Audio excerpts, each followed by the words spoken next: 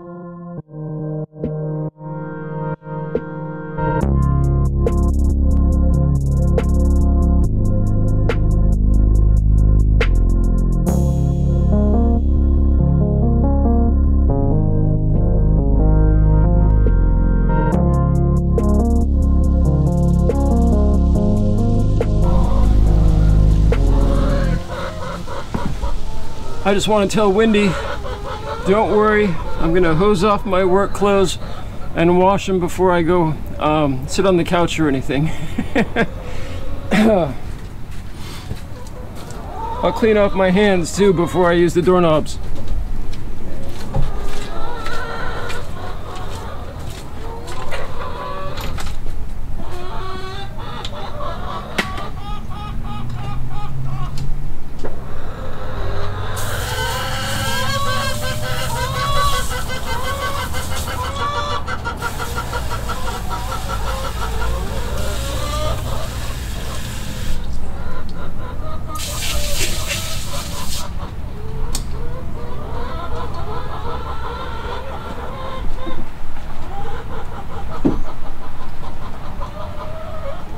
I've got an experiment after mucking out the uh, chicken run here.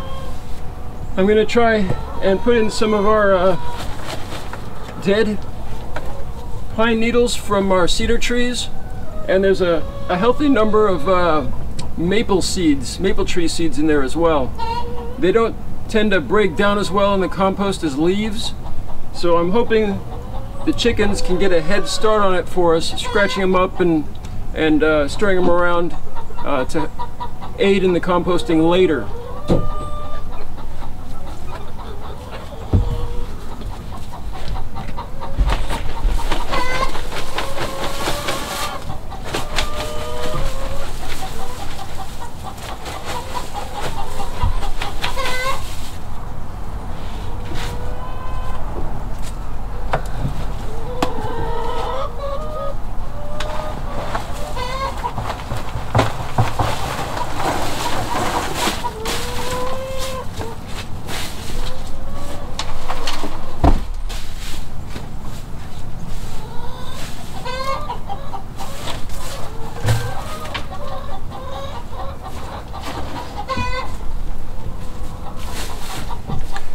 The chickens will do a better job of spreading it around than I did. If any of the maple trees do grow in here, they'll just be snacks for the chickens. Maple trees grow like weeds out here, and it actually is uh, kind of a pain in the neck to just pull them constantly because they're uh, growing everywhere.